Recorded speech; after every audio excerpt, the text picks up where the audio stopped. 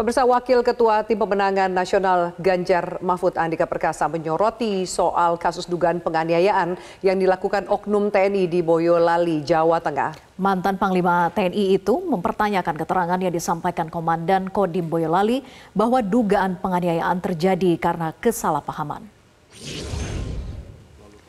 Menurut Andika Perkasa, apa yang disampaikan Komandan Kodim Boyolali tidak sama dengan keterangan korban yang merupakan relawan Ganjar Mahfud. Andika menilai bila melihat video yang beredar peristiwa penganiayaan terjadi sangat cepat, artinya tidak ada kesalahpahaman yang terjadi antar dua pihak. Karena itu Andika mendorong agar pelaku penganiayaan bisa diadili dengan tuntutan hukuman yang berat. Ini ternyata mengkonfirmasi apa yang terlihat di video. Jadi bukan seperti statement yang dinyatakan oleh Komandan Kodim Boyolali.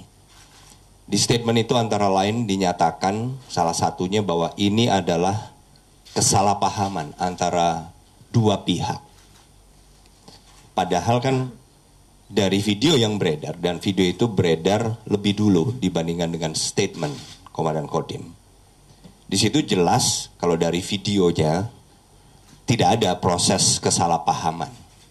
Yang ada adalah langsung penyerangan atau tindak pidana penganiayaan. Jelajahi cara baru mendapatkan informasi. Download Metro TV Extend sekarang.